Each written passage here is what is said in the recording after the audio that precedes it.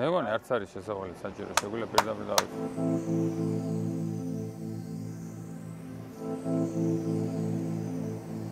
შეიძლება ერთ დღამეში მოხდეს ისეთი გარღვევა რომ ეს ყველაფერი გახდეს შესაძლებელი ძალიან სწრაფად.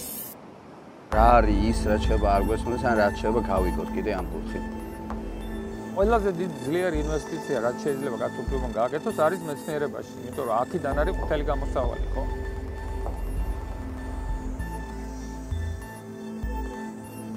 საერთოდ ჩვენ გასუბრებას გვახასიათებს რომ ესე იგი გვახასიათებს რომ რეალური პრობლემების არ დაფასება და რაღაცა ფიქტიური პრობლემების შექმნა.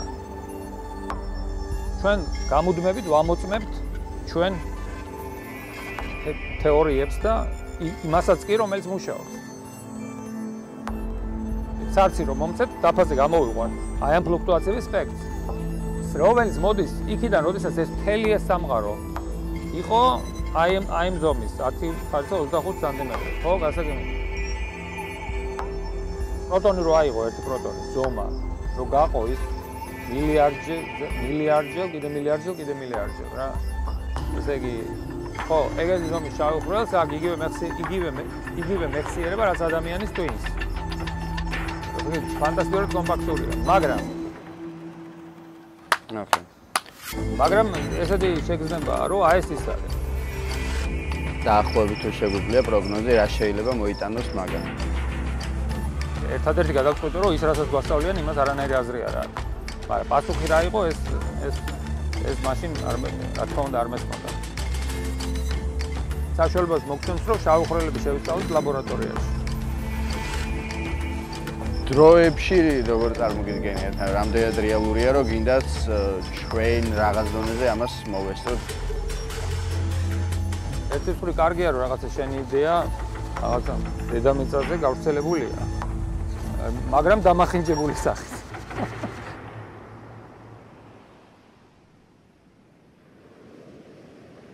მოგესალმებით. დღეს ვიწყებთ ჩვენს ვიდეო ინტერვიუს გია დვალთან სოფიო ფიზიკოსთან როგორც საქართველოსში ასევე მსოფლიოში. გია გამარჯობა ძალიან მიხარია რომ რაღაც ჩვენ ინტერვიუ შედგა და რაღაც მართლა ჩემი როგორ ჩემს ძალიან პატივია ეს და სპონტანურად. ხო სპონტანურად და ძალიან მიხარია იმიტომ რომ ამის საშუალება მომეცა რომ რაღაც ვილაპარაკო თქვენთან ასეთ თემებზე რა და ძალიან ფიქრობდი საიდან დამეწყო ზოგადად ეს მაგრამ რაღაც მაინც ფიქრობ რომ დავიწყოთ დასაწყისიდან და რაღაც პირველ ესეთ შეკითხვა მაქვს თქვენთან ანუ აი მაინც აი როგორ დაიწყო თქვენი კავშირი აი მეცნიერებთან მეცნიერებასთან რა ანუ აი როდის გადაწყვიტეთ ან როდის გაგიჩნდათ ინტერესი აი მე პერა ძალიან მაინტერესებს ეს იმიტომ რომ მე მაგალითად მეცნიერების მიერ ცოტა გვიან გამიშდა ინტერესები და სულ ნანობ ხოლმე ამას და აი თქვენ შემთხვევაში მაინტერესებს ეს როგორ არის ну არ ამგონია რომ ჩემი ჩემი პირველ ყოველთვის მოგესალმებით მოგესალმებით თქვენს აყურებელს ну მე არ ამგონია რომ ჩემი შემთხვევა რაღაცა განსაკუთრებულია. საერთოდ მეცნიერება ეს ხო არ არის რაღაცა განყენებული. აა ამბავი ეს ეს არის დაკავშირებულია ჩვენი ადამიანების ერთ-ერთი ის არის ხო სფეროა. და ნუ და ეს როგორც ეს ეს მეტრიკილება მეცნიერების მიმართ ბავშვებს უჩნდებათ თავიდანვე, იმიტომ რომ მეცნიერება რა არის? ცნობის მოყარეობა, ხო? ანუ ჩვენ ეს არის ცნობის მოყარეობა, რომელიც აღვანილია სისტემაში და გააჩნია მეცნიერული მეთოდი. რა თქმა უნდა, ბავშვებს პატარა ასაკში არ აქვს მეცნიერული მეთოდი, მაგრამ ნუ რაღაცნაირად ქვეცნობიერად ამის ამის აღმოჩენას აკეთებენ, ხო?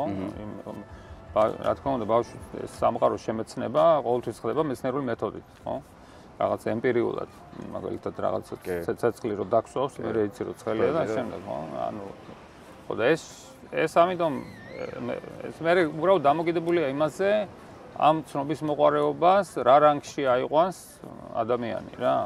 შეიძლება ხო და ეს მე ეს ცნობის მოყარეობა შეიძლება გახდეს უკვე სისტემურად მეცნიერული მიმართულება მეცნიერების ნაწილი. და ან შეიძლება დარჩეს როგორც ასე ვთქვათ თანდევი რა ცხოვრებაში. უამრავი ადამიანი ვინც მეცნიერულ კვლევას არ ეწევა მაგრამ ძალიან აინტერესებს მეცნიერება და აი ცნობის მოყარეობა გააჩნია ყველა ჩვენგანს. ხო, ამიტომ ესე იგი მაგ თვალსაზრისით არ არის ძალიან ესეთი მკაფიო ზღვარი არ არსებობს. მაინც და მაინც მეცნიერების მიდრეკილება ბავშვობაში და თავარია ეს ეს ეს ცნობის მოყარეობა ის დონე, რომელიც მე გადადის სისტემაში. ну ეგ ეგ იყო ჩემთანაც ესევე იყო ბავშვობიდან მაგრამ თუ კითხვა არის იმაზე შეიძლება უფრო საინტერესო კითხვა იყოს აი კონკრეტულად ფუნდამენტური მეცნიერების ინტერესი საიდან გამიხსნა ხო. კონკრეტულად ფუნდამენტური მეცნიერება ეს არის ну რასაც ვაკეთებ ეს არის ელემენტარული ნაწილაკების ფიზიკა რომელიც არის ყველაზე ფუნდამენტური დისციპლინა რატომ და და კოსმოლოგია. რატომ? იმიტომ რომ ის იკვლევს სამყაროს ასე ვთქვათ ელემენტარულ ბლოკებს, რის სამყარო არის შექმნილი, ყველაფერი დარჩენი. ну შესაბამისად ჩვენ მაგას უძახით ფუნდამენტურ ფიზიკას. და ну ამ ფუნდამენტურ ფიზიკაში ხარ არის თავისი აპარატი, ხო? ანუ ყველაფერს გააჩნია თავისი ჩარჩო, ხო? ნებისმიერ დისციპლინას რაღაცა ჩარჩოში მოქმედებს. ну ახლა ეს რა ჩარჩოში ჩვენ მოქმედებს, ეს არის ველის კვანტური თეორია, კვანტური რომელიც არის უმაღლესი ეტაპი კვანტური მექანიკის განვითარების რა. აჰა. ხო და ну ეგ მაგის მიმართ ინტერესი, ხო, ეგ მახსოვს როგორ იყო? საინტერესო. იყო, ხო, ესე იყო რომ აა სკოლაში გვასწავლიდნენ, ნუ ახლა ფიზიკას, რა თქმა უნდა, ფიზიკას გვასწავლიდნენ ძალიან კარგი მასწავლებლები ყავდა მათემატიკაში, ფიზიკაში, ქიმიაში, ფანტასტიკური. საერთოდ ძალიან კარგი მასწავლებლები ყავდა, მაგრამ ნუ ახლა კონკრეტულად ამ ამ დისციპლინებზე ვლაპარაკობ. ნუ სკოლაში გვასწავლიდნენ, რა თქმა უნდა, მექანიკას და ნუ ვიცოდით, რომ არის ბუნების კანონები და ну მექანიკური სისტემა ასევე ემორჩილება ბუნების კანონებს, ფიზიკის კანონებს. ფიზიკის კანონი რა არის? ნუ ის გეუბნება, რომ მაგალითად დროის რაღაცა მოცულ მომენტში შენ თუ იცი სისტემას რა მდგომარეობაშია ფიზიკის კანონებით მე შეიძლება ნებისმიერ სხვა სხვა დროის მომენტში გამოთვალო რა მოუვა რა. ნუ მაგალითად ბურთი სხვას რო გაუშვე ხა მე ხელი ხო? ვიცი რომ დავარდება. კი. ხო? ნუ რატო შეიძლება ისა თუ ვიცი რომ საწყისი მდგომარეობა, საწყისი აა ისა მე რა ხელს რო გაუშვებ, ვიცი რომ როგორ ჩამოვარდება, ხო? ეს შემიძლია უწენასწარ მეტყველო. ხო, ეს ვიცოდით. პარალელურად გვასწავლიდნენ საზოგადოებრივ ცოდნეობას სკოლაში. ну, მაშინ იყო ესეთი მარკ უფრო მარქსისტულ-ლენინური ფილოსოფიით იყო აა ну ასე ვთქვათ, ცოტა შეზავებული კი არა, კარგა მაგრად შეზავებული ეს ეს ფილოსოფია. Ну რა თქმა უნდა ეს იყო მატერიალისტური ხო? და აი ესეთ სისულელეს გვასწავლიდნენ რომელშიც რომ სადაც იყო თითქოს რაღაცნაირად თითქოს იყო ცდელობა რომ რაღაცა უარყოფა გაეკეთებინათ ტრანსცენდენტული ასე ვთქვათ რა. მაგ სიტყვას არ ხმარობდნენ უფრო. და იძახდნენ რომ ესე იგი რა გვია აინტერესებთ ესე იგი ну მეცნიერებას არ ჭირ ესე იგი მეცნიერულად ხო აღიწერება ასე ვთქვათ სამყარო როგორც რაღაცა როგორც რაღაცა მექანიკური ну ну რაღაცა ფიზიკის კანონებით ხო და ну ასე შემდეგ ხო ეს ასე ვთქვათ თავი თავის თავში მოიცავს თლიანად ყველაფერს ხო და მაგრამ მე ესეთი კითხვა ესე ესეთი კითხვა გამიჩნდა რა რომ აა მოგლედ ესე ვხედავდი მაგას რა. ამ ამან ძალიან ძალიან ისაქნა რა ქვია დამაბნია. იმიტომ რომ ერთი მხრივ ესე იგი მაინტერესებდა არსებობს თუ არა ტრანსცენდენტული მხარე რა. ანუ რაღაცა მხარე რასაც მეცნიერება ბოლომდე ვერ ჩაწყვეტ ხო ეხლა ტრანსცენდენტული მხარე ყოველთვის არსებობს, მაგრამ მე ვიძახი ისეთ ტრანსცენდენტულ მხარეზე, რომელიც აი რომელიც რაღაცნაირად ობიექტურ რეალობას ემორჩილება რა. ესე იგი რაღაცა ობიექტური რომელიც დაფიქსირება რაღაცნაირად შეიძლება? ნუ ობიექტური რეალობა ნიშნავს ეს არის რეალობა, რომელიც შემეცნებადია მეცნიერული მეთოდით რა. და აქ იყო ესეთი ესეთი ესეთი მივიღე ესეთი ასე ვთქვა პარადოქსი. პარადოქსი რას შეგომარეობდა რომ ესე ვფიქრობდი მე რომ ავიღოთ მეთქი რომ ვთქვათ და ესეა რომ ვიცით რომ ფიზიკა გვეუბნება რომ ნებისმიერ დროის მომენტში თუ ვიცი სისტემის მდგომარეობა ნებისმიერ სხვა მომენტში შემიძლია ეს მდგომარეობა გამოსაზღვრო. მაშინ არსებობს მაშინ ყველანაირი განუზღრებლობა მოხსნილია, იმიტომ რომ თელი სამყარო რო ავიღო, ხო? თელი სამყარო ფიზიკური სისტემაა. თელი სამყარო რაღაცა მდგომარეობაშია, რაღაცა ტეუდრის მომენტში და შესაბამისად ფიზიკის კანონები მეუნება ცალსახად რა მდგომარეობაში იქნება. და ამან დამაბნია, იმიტომ რომ მასში სად არის თავისუფალი არჩევანი? ხო. იმიტომ რომ ყველაფერი არის განსაზღვრული მაშინ, ხო? ესე იგი არ არსებობს მაშინ ფაქტიურად ბედი არ, ну, არსებობს ბედის წერა, ხო? მეცნიერება გეუბნება თვითონ მაშინ რომ არსებობს ბედის წერა. ხო და ამან და ეს ერთადერთი გამოსავალი აქედან, რაც მაშინ ლოგიკურად რაც მომნახე, იყო რომ მაშინ უნდა უნდა დაგვეშო რომ რაღაცა არსებობს, რაღაცა სისტემა, მატერია ან რაღაც ეგეთი, რაც არანაირ კანონებს არ ემორჩილება. აჰა. მაშინ ეს რაღაცნაირად ტრანსცენდენტულია რა, ხო? ხო და მოკლედ ეს არ მაძლევდა მოსვენებას. ნუ პატარა ვიყავი მაშინ, აღარ მახსოვს 12 წლის თუ რაღაცა. ხო. და მასწავლებლებს მასწავლებლებს დაველაპარაკე მაგაზე. ნუ მასწავლებლებს საერთოდ ვერ გაიგეს რა მინდოდა. კვანტურ მექანიკას ხო რეცეპტით? ხო და ხო, მომენტი ეგ იყო რომ ხო კი, კვანტურ მექანიკა რაღაცები სიტყვის დონეზე მქონდა გაგებული, მაგრამ ნუ მაშინ ისე ისე არა. მე რაღაცა ერთი ერთი წელიწადში თუ რაღაც ეგეთი. მოკლედ მასწავლებელმა მელი ცოტა დაიბნა ბოლომდე ვერ გაიგო საერთოდ რა მინდოდა და ამ შემდეგ, მაგრამ ნუ მე გავაგზელე ამაზე. მოსვენებას არ მაძლევდა გამოვი და მე შემდეგ ერთ-ერთ ციკში ამოვიკითხე რომ თურმე ეს ეს ეს ასე ვთქვა განსაზღვრულობა.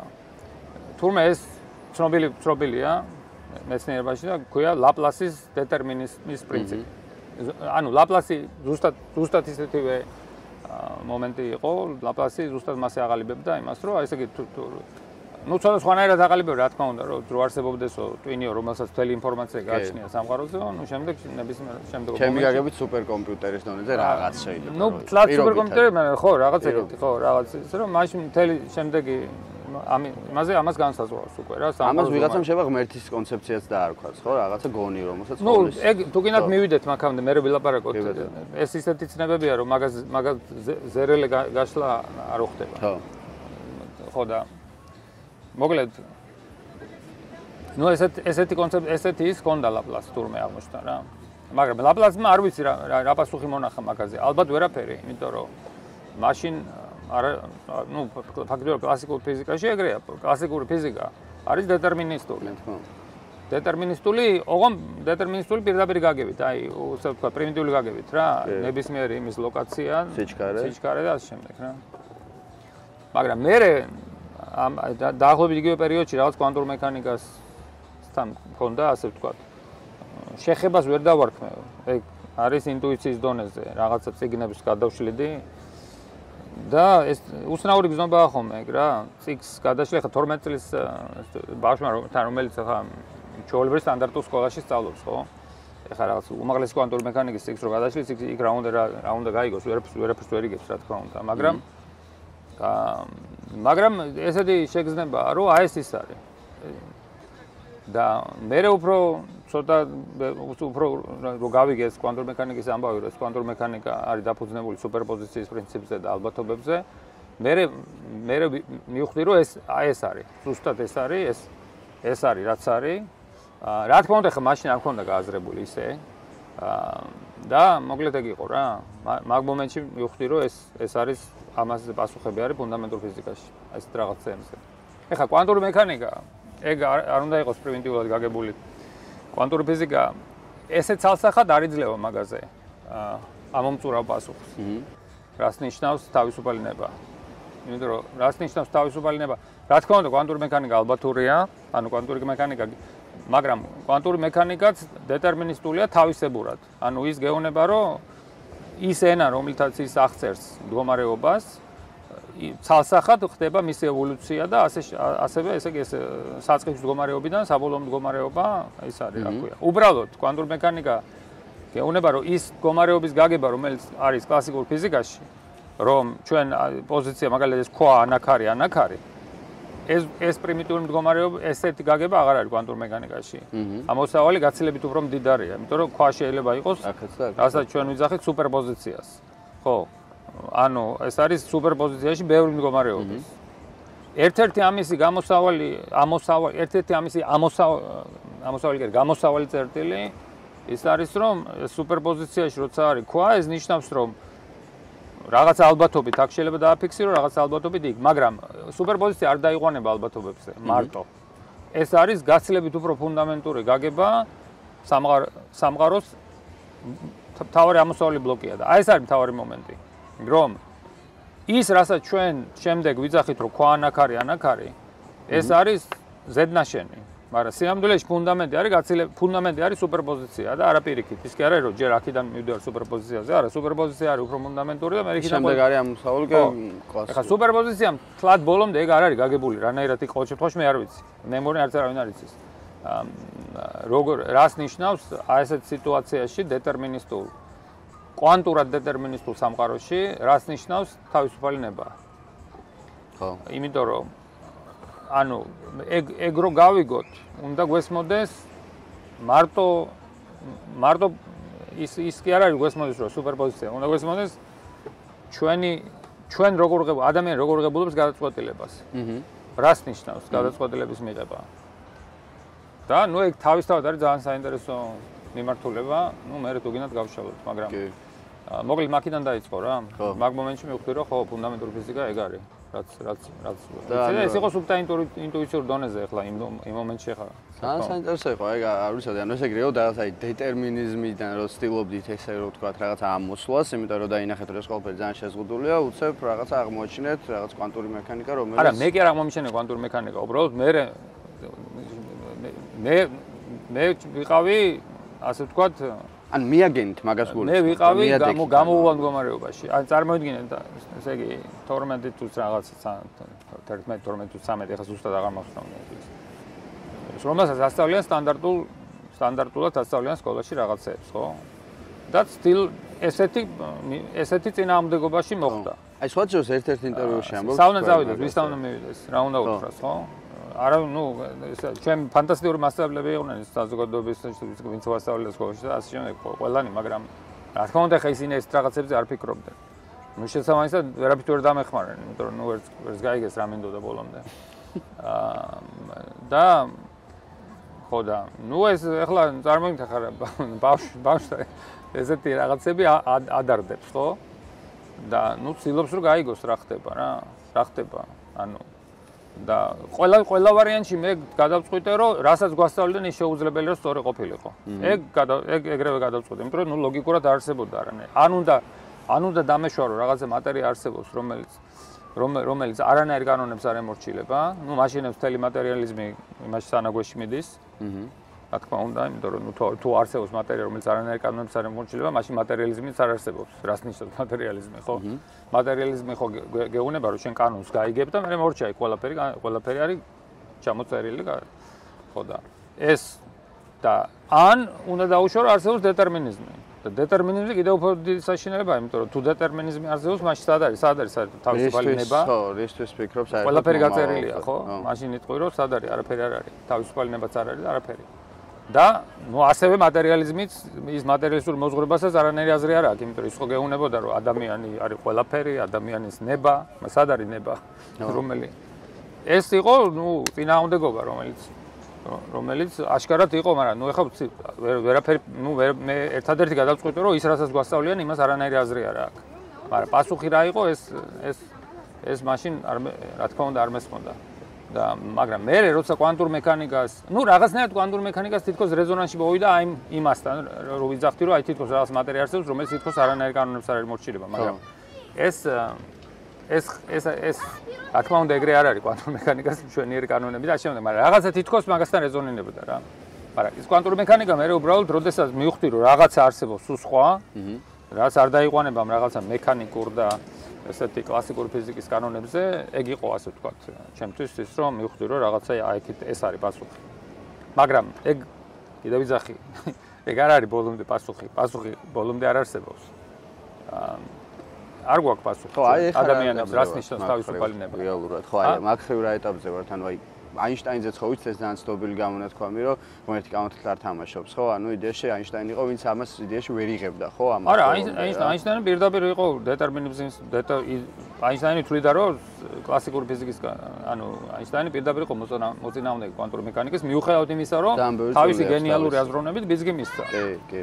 მაგრამ უბრალოდ რა ქვია უბრალოდ რა ქვია ეს რა თქმა უნდა ერთმანეთს ერთმანეთთან თან არსებობდა მასში ეს ის მაგრამ ხო აინშტაინი ზუსტად ეგ გამონათქვამი არის ის რომ დეტერმინიზმის მომხრეა ხო. ანუ თვლიდა რომ უნდა იყოს დეტერმინისტური. არა, დღესაც არიან ფიზიკოსები, არიან ძალიან საკმაოდ ძლიერი ძლიერი გერას გამოჩენილი ფიზიკოსები და გენიალური ფიზიკოსები დღეს დღევანდელი დღეს არიან ჯერ კიდევ ცოცხლები დეტერმინიზმისკენ არის. ხო, რომლებიც მაგალითად თვლიან რომ რას ამბობენ კვანტურ მექანიკაზე მაგრამ. ნუ მაგათთან მე რა თქმა უნდა ბევრი ასე ვთქვათ, კაი, ძალიან კოლეგაა და მეგობარი და შემდეგ და უამრავი ჩხუბი და ბრძოლა მაქვს ხოლმე მაგათთან, მაგრამ ნუ ეხა ადამიანი თulis რომ სამყარო უნდა იყოს დეტერმინისტული. ის განა ეს იქიდან კი არ გამოდის რომ მას კვანტური მექანიკა არ ესმის, როგორ არ ესმის, სუპერ გაგება აქვს, მაგრამ მაგრამ უბრალოდ თulis რომ დისკომფორტი აქვს რა. თulis ადამიანი რომ სამყარო უნდა იყოს დეტერმინისტული. პიროვნული რაღაცა უფრო ფუნდამენტური. რაღაც ანუ კონკრეტულ აი ადამიანებს შეიძლება უფრო მიდრეკილები იყვნენ ამისკენ. თუ საუბრობთ რომ ზოგადად სახეობა შეიძლება არა მე ლაპარაკობ იმ კონკრეტულ პიროვნებაზე მოგესმით მან გასაშლელობა ძალიან რთულია. ეხლა ჩვენ ლაპარაკობთ ესე იგი ულტრა ექსტრემზე ლაპარაკობთ ხალხზე რომლის დონესაც 2-3 ადამიანი მოიძებნა მსოფლიოში ხო? ყოველ შემთხვევაში მაგ მიმართულებაში რა.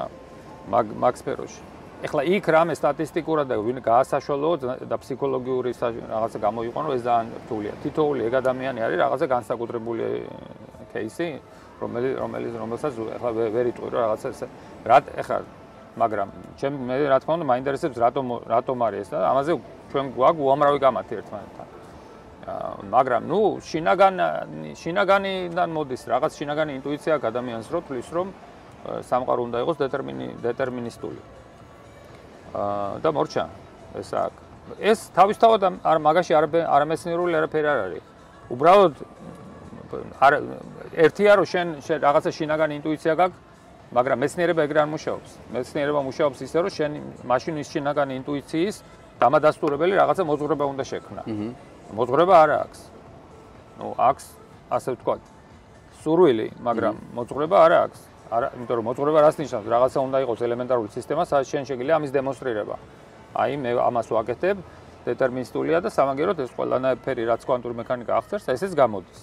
ეგეთი რამე არ არსებობს.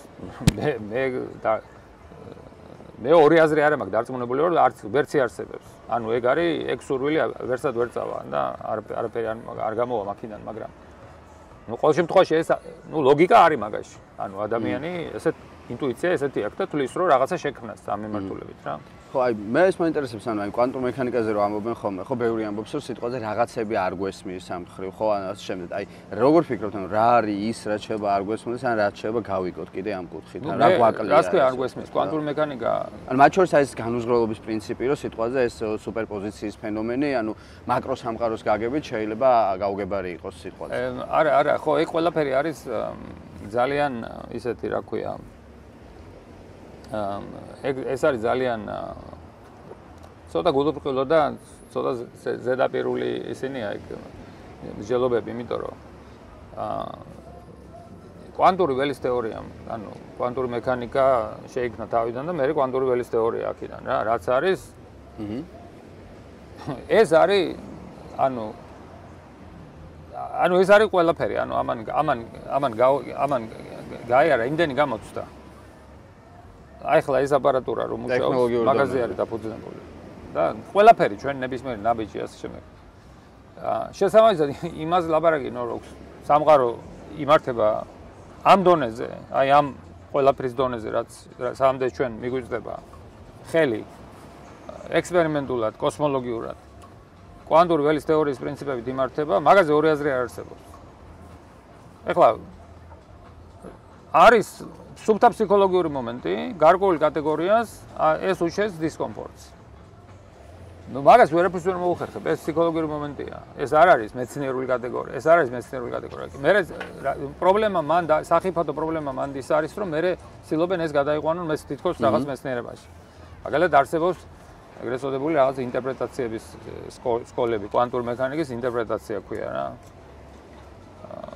ну მაგალითად არ ვიცი შეიძლება გაგიგიათ მრავალ სამყაროიანი ინტერპრეტაცია და ამ შემდეგ პარალელური სამყაროები და ну პარალელური სამყარო რამდენიმე სხვა სხვა რაღაცა შეიძლება მაგაში ალტერნატიული რეალობები როდესაც წარმოქმნა და ხო რა დაახლოებით ეგეთი ანუ მაგალითად ვინაიდან ესე იგი დისკომფორტი აქვს თქვა მეცნიერს რატომ უნდა იყოს სუპერპოზიცია ხო ხო ну ესე იგი ეს ყვა რატოში როგორ შეიძლება იყოს სუპერპოზიციაში აქ და აქ ანუ ეს რას ნიშნავს და შემდეგ ნებისმიერი გაზომვა ამას აკოლაფსირებს. გაზომა რა არის? გაზომა არის ურთიერთქმედება, ხო? მაგალითად მე შეიძლება შევხედო ამ ქვას და უკვე დავინახო რომ აქ არის, ან აქ არის, ხო? აპარატს გააჩნია როგორ ზომავს ეს აპარატი. ხო და ეხლა ეს ეხლა იმის მაგი იმის იმის მაგივრად რომ მიიღოს, რასაც ბუნება ეუბნება, რომ ეს არის ამოსავალი და არა შენი შენი კომფორტი. რომ შენ რახან შენ ადამიანი ხარ, ესე ისტორიულად ეს ჩამოყალიბდი ჩვენ თქვენი ესე აზროვნებს შენ ესე ესე იგი შანსი მოგცა ბუნებამ რომ სადღაც ჩაიხედო. და გახსნა ახალი ჰორიზონტი. შენ ისე გინდა რომ შენ ისე გარბი ხარ იმ შენ რაღაც იმაში კომფორტის ზონაში და ამ კომფორტის ზონაში გარბი ხარ კი ბატონო, არ არის პრობლემა, მაგრამ ამას რასაკეთებ მე?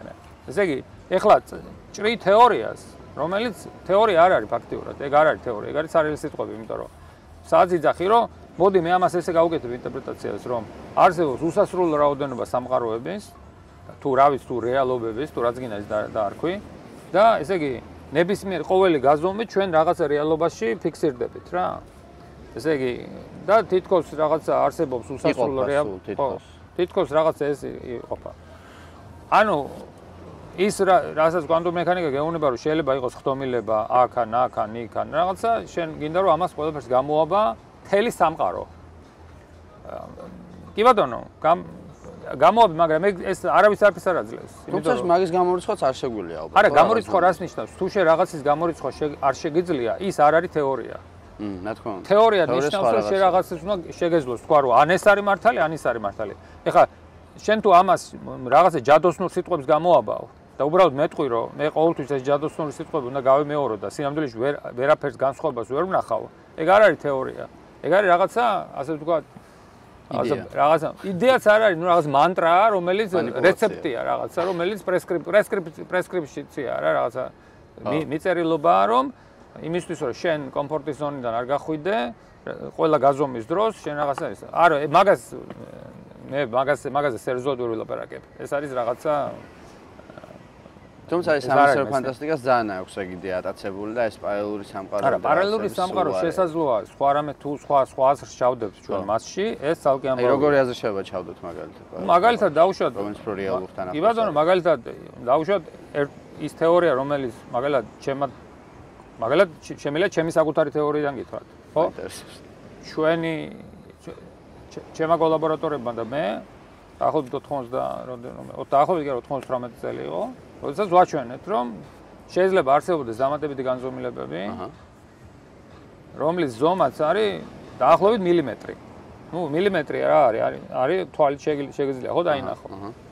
ნუ ხა ეს შოკი იყო რა თქმა უნდა ყველასთვის, იმიტომ რომ ესეთი რაღაცა ძალიან რთულიაში წარმოიდგინე რომ არსებობს დამატებითი განზომილება, რომელიც მილიმეტრია და ყოველდღიურობაში ამას შენ ვერ ამჩნევ. ეს შეიძლება ძალიან ბევრი იყოს ესეთი განზომილებები? ხო, ნუ ესე იგი მაგალითად თუ 2-ია, შეიძლება მოკლედ კი, შეიძლება ბევრი იყოს, მაგრამ ყველაზე დიდი ზომა არ შეიძლება აღემატებოდეს მილიმეტრს დაახლოებით რა. აჰა. და იმიტომ რომ სხვანაირად ექსპერიმენტულად დავინახავდით მაგას. და არაფერს არ ეწინააღმდეგება აღმოჩნდა რა. არა არა მარტო არაფერს არ ეწინააღმდეგება, არამედ რაღაცა წინასწარ მეტყოლებები გააჩნია. მაგალითად ის რომ CERN-ის ამაჩქარებელზე შეიძლება შავხრელი დაიბადოს. კი.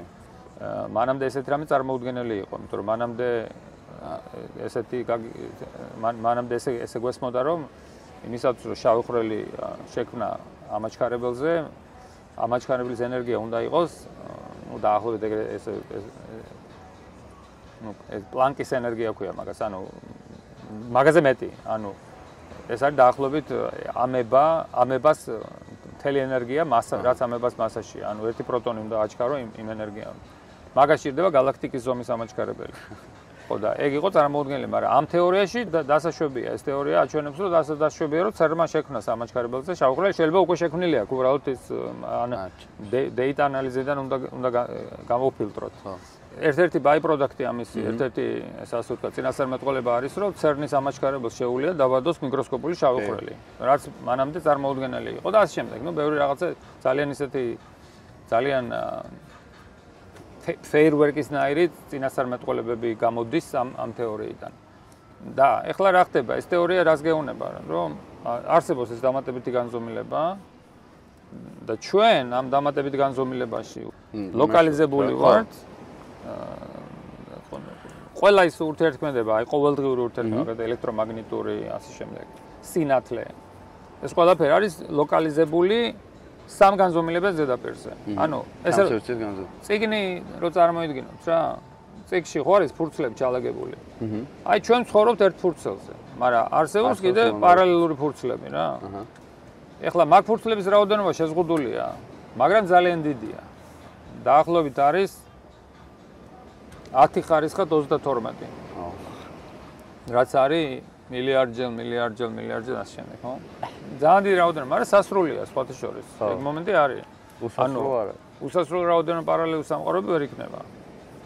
აა ეხლა ეგ თითოეული ფურცელი, ეხლა მაგალითად ხანდახან ამ თითოეულ ფურცელს უძახიან პარალელურ სამყაროს. ხანდახან უძახიან პარალელურ სოფლიოს. იმიტომ რომ თლაც სამყარო არ არის, იმიტომ რომ ისიც ჩვენი სამყაროს ნაწილია. ვინაიდან ჩვენ საერთო გვაქვს გრავიტაცია. ხო, აი გრავიტაცია უნივერსალურია, ანუ ურთიერთობა. ხო, გრავიტაცია უნივერსალურია. შესაბამისად, ესეთი პარალელური აა ნუ, მაგრამ მოგო ტერმინოლოგიის საქმეა ხა, თუ გინდა პარალელური სამყარო დაარქვით, თუ გინდა პარალელური მსოფლიო. ან პარალელური რეალობა. ხო, ნუ პარალელური world ესე არის. ხო. რეალობა, ნუ, რეალობა იქ თავისია, ხა რა თქმა უნდა, ის ჩვენ ეგ პარალელური რეალობა ცოტა სხვანაირად სხვანაირი იმიტომ რომ ეხლა პარალელურობას ნიშნავს აი მაგალითად თქვენ არსებობთ ჩემგან დამოუკიდებლად და მე თქვენსგან თქვენ გაქვთ რეალობა რაღაცა და მე ამ გაგებით ხო პარალელური რეალობაა რა მაგრამ ის არ არის რაღაცა ხო. მაგრამ მაგალითად მან მაგ მაგ ფურცლებზე რომლებიც არიან ჩვენი მეზობელი ფურცლები ჩვენ მათთან ურთიერთქმედებით მხოლოდ გრავიტაციულად.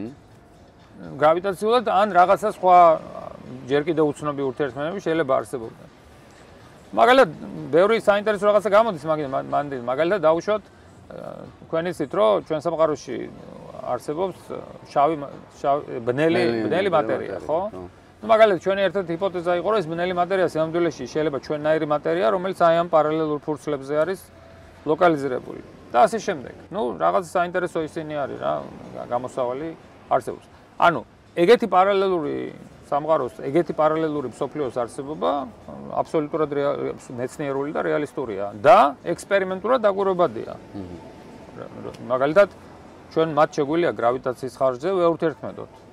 ვეურთერთ ურთერთო, მაგალითად, რო წარმოვიდგინოთ, რომ ეხლა არსებობს აი აქ ჩვენი ვიღაცა გვესტუმრა იმ პარალელური სამყაროდან, მაგალითად ხომალდი. აქ დედამიწაზე.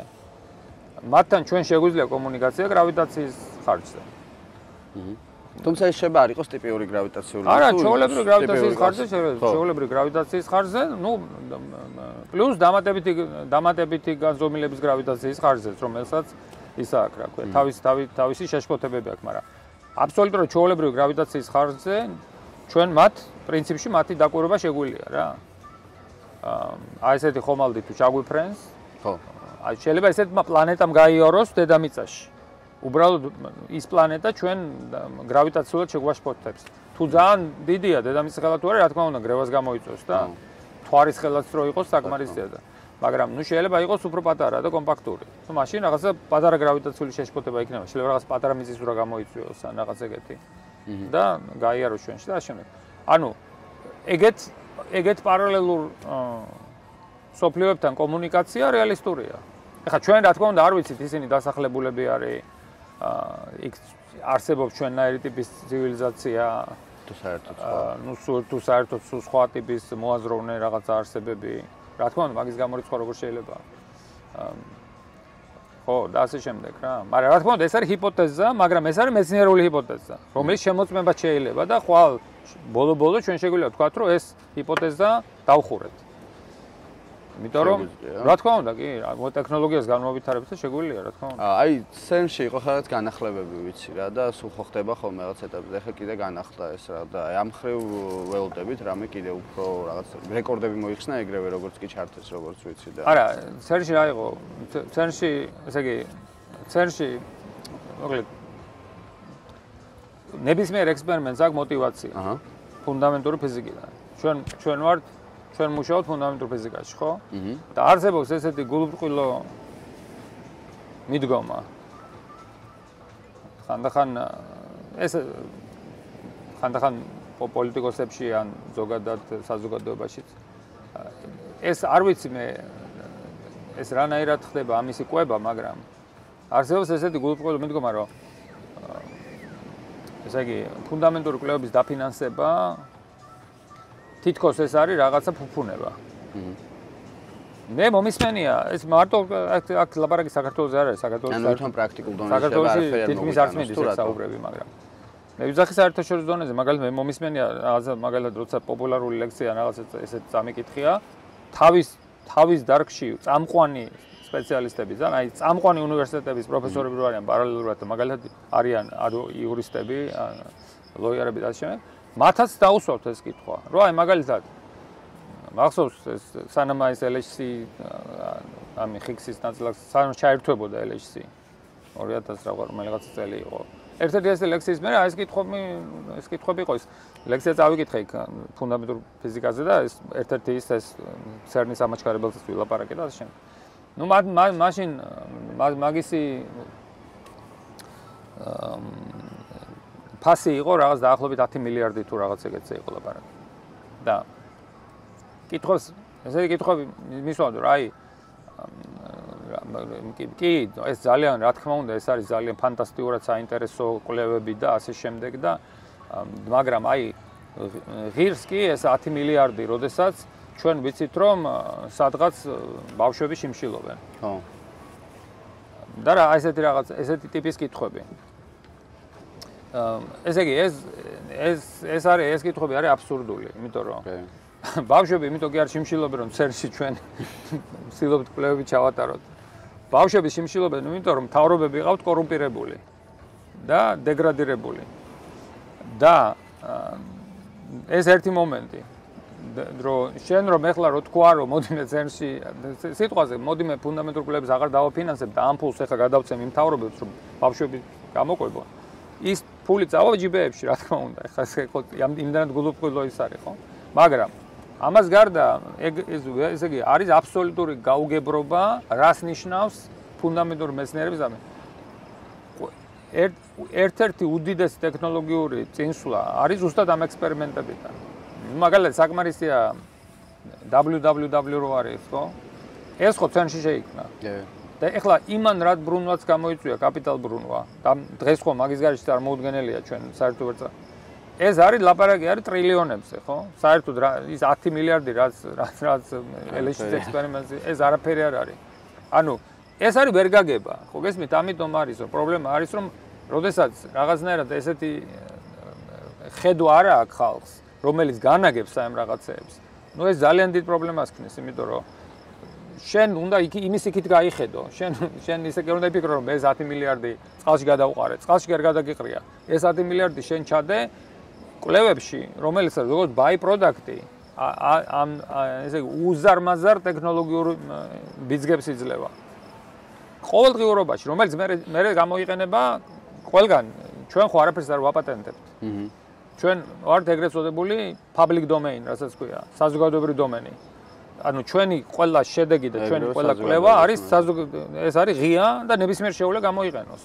და რა თქმა უნდა ეს თელი ტექნოლოგიები რაც არის, ეს არის მე დაფუძნებული ამ ამ ამ მიღწევებზე და ამ კეთილდღეობა მათ. რა თქმა უნდა, მაგრამ და ეს ეს ესე იგი ინვესტიციასთან ყველაზე დიდი ძლიერი ინვესტიცია რაც შეიძლება კაცობრიობამ გააკეთოს არის მეცნიერებაში, იმიტომ რომ აქედან არის ყვითელი გამოსავალი, ხო?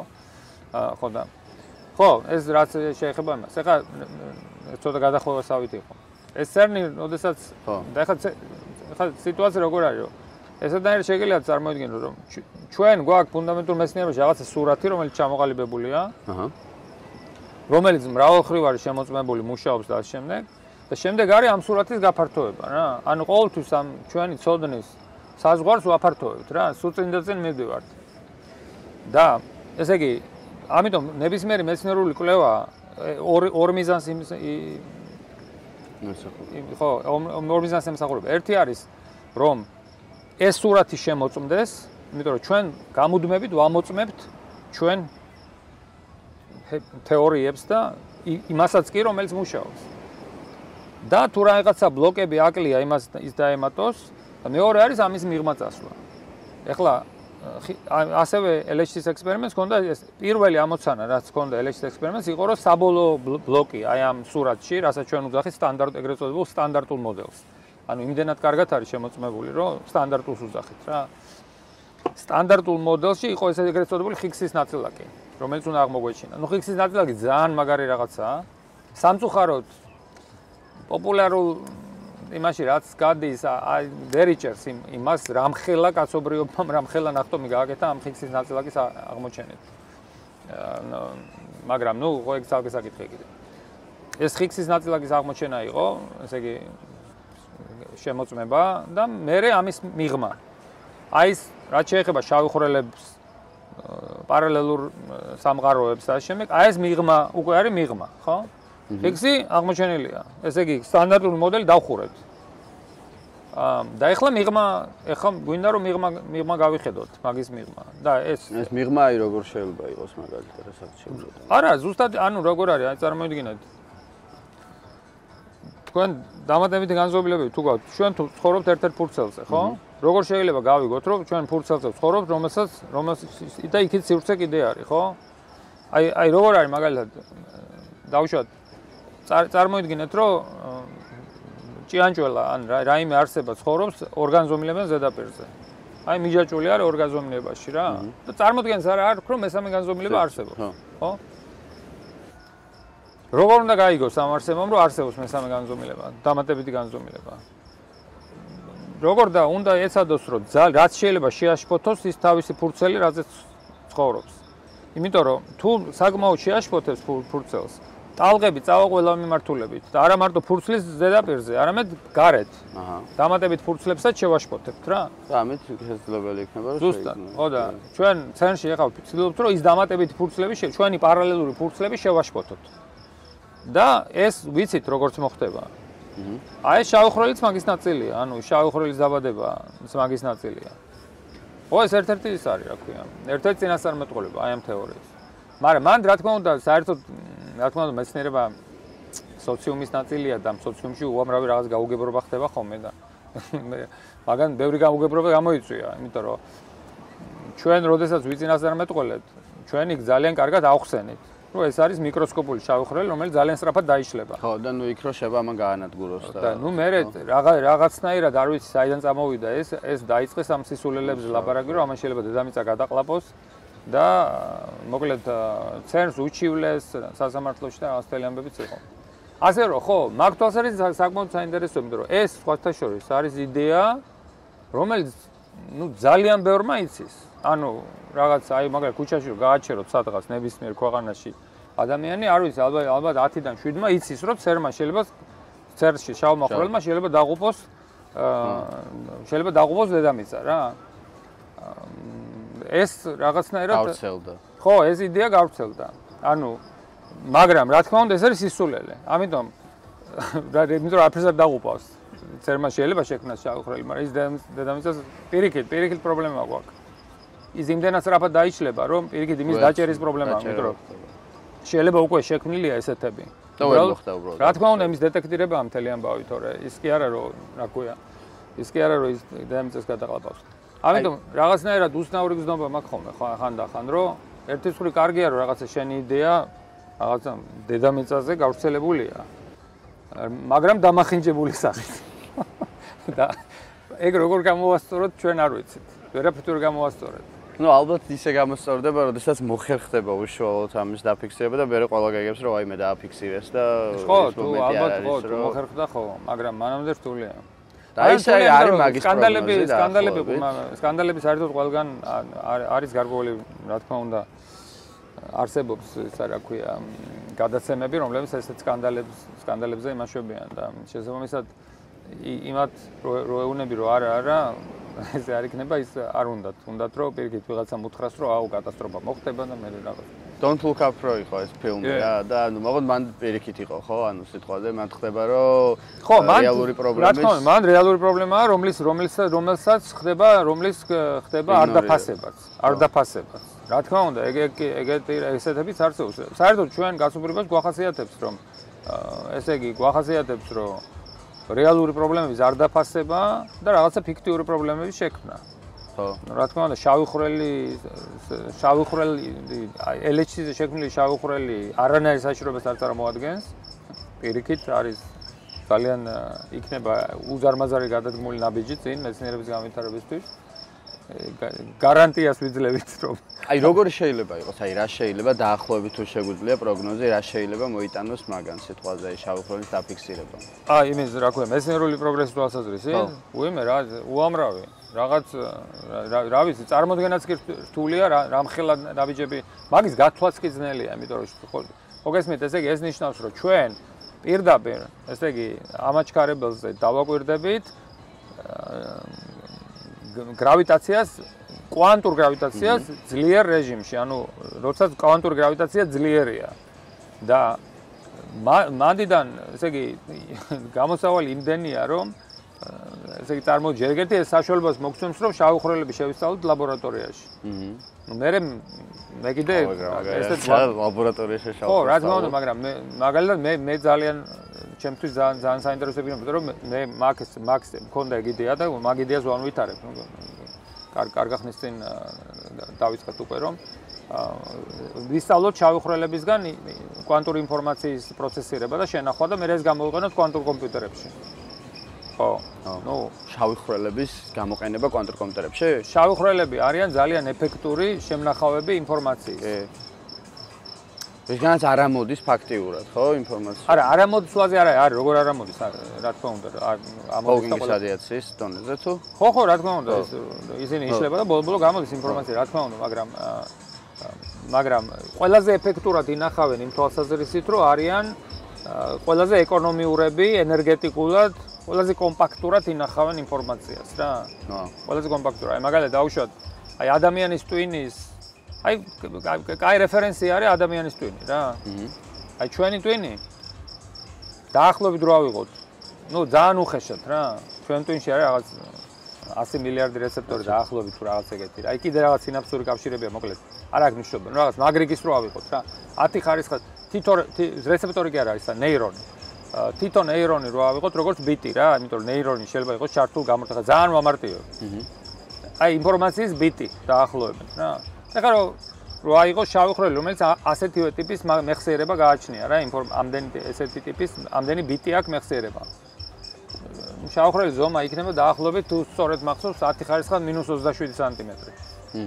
ანუ ეს იქნება ესე იგი მილიარდი, რა ვიცი, პროტონის პროტონი რო აიღო ერთი პროტონის ზომა, რო გაყო ის მილიარდჯე მილიარდჯე კიდე მილიარდჯე კიდე მილიარდჯე რა. ესე იგი ეგეთ ზომის ხო ეგეთი ზომის შავი ხრელს აქ იგივე მეხსი იგივე იგივე მეხსიერება რაც ადამიანის twins ხო. ესე იგი ფანტასტიკურად კომპაქტურია მაგრამ აა მაგრამ ძალიან სწრაფად კარგავს ინფორმაციას აჰა ხო და აი მაგალითად რო აიღო ესე იგი შავი ხრელი რომელიც ინფორმაციას შეინარჩუნებს დაახლოებით 100 წელი ну რაც დაახლოებით ადამიანის twin-ია სხვათა შორის არც ისე დიდი განსხვავება არ არის ადამიანის ტვინისგან რა. ანუ ესე იგი საკმაოდ კარგად ავარ ჩვენ მაგ თვალსაზრისით რა. ну რა თქმა უნდა კიდე უფრო დიდი შავი ხრელი კიდე უნდა დაგვაჯილდოა. არა, ოპტიმიზაციას აკეთებ ჩვენი, რა თქმა უნდა, ინფორმაციის კანონები ხო ერთნაირია და რა თქმა უნდა ჩვენმა ჩვენმა ტვინმა გაიარა დიდი ევოლუცია და ოპტიმიზაცია გააკეთა რაღაცნაირად. ანუ იმ იმასთან დაკავშირებით რამდენადაც სწრაფად გჭირდება აზროვნება, და ასე შემდეგ გაწყვეტილების მიღება და დროები და რაღაცა, ნუ ჩვენი ტვინის არა უშავს რა. აჰა. კარგად ავართ, მაგრამ აი მე მინდა რომ იმას ვისაუბრო. მაგრამ ჩვენ მინდა რომ გავამჯობესო. ანუ იდეა არის რომ შავი ხრელისგან ვისწავლოთ. ეგ არის ჩემი იდეა რა.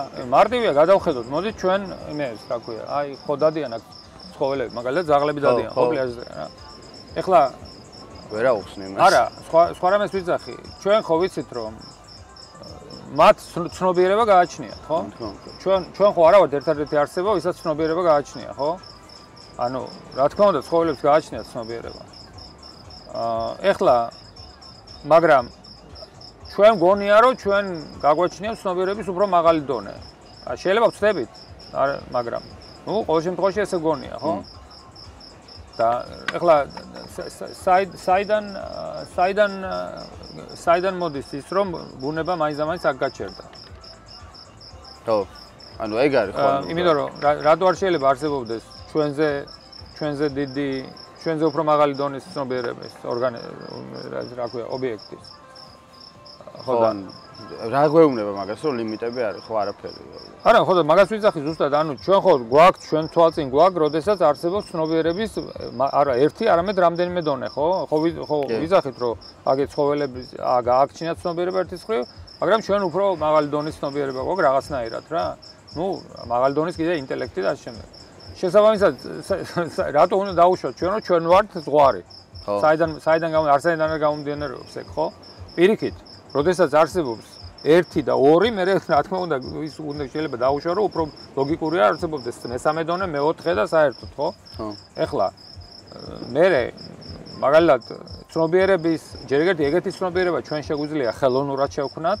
ეხლა ხო მაგას ზუსტად ეგ გვინდა მაგაზე ვლაპარაკობდი ამ შავხრელებს ეს რა რატო რატო არ ჩამოკიდებული ამ შავხრელებს? იმიტომ რომ ეგ არის ყველაზე კომპაქტური შემნახავი ინფორმაციის და ყველაზე ეფექტური. და მე მინდა რომ ეგ ეგ ეს ეს მეთოდი შენახოს ინფორმაციის გადმოვიტანოთ რა ჩვენ რა? და ნუ ჩვენ გვაქვს პროპოზალები ანუ მაგაზე მუშაობ ჩემი ჯგუფი მაგაზე მუშაობ ერთ-ერთი მიმართულება ჩვენი ეგ არის რომ შავი ხრელიდან გადმოტანა როგორ ჩაოლებრივ ჩაოლებრივ იმებში რა ქვია როგორ შევინახოთ ინფორმაცია და და რა თქმა უნდა საიდან გამოდის რომ მან მან აქ ჩვენ ჩვენ მოგვიწეს გაჩერება იქ სადაც ვარ ჯერ ეგეთი ჩვენ შეიძლება შევქნათ ხელოვნური ინტელექტი, რომელიც გაცილებით უფრო ჭკვიანი იქნება ვიდრე ადამიანი, გაცილებით უფრო ну ცნობიერების მაღალი დონე ექნება. ეხლა მაგისი დახასიათება რთულია, რას ნიშნავს, იმიტომ რომ გასაგებია სანამ არ შევქმნით და გავაკეთებთ, ცოტა რთულია რომ რა ქვია, დავახასიათოთ, მაგრამ ჯერ ეგ ჯერ ერთი ეგა, შემდეგ ჩვენ ეს შეგვიძლია გამოვიყენოთ იმისთვის, რომ ჩვენი შთამომავლების გავზარდოთ ცნობიერება ჩვენი სტამომავლების ხო?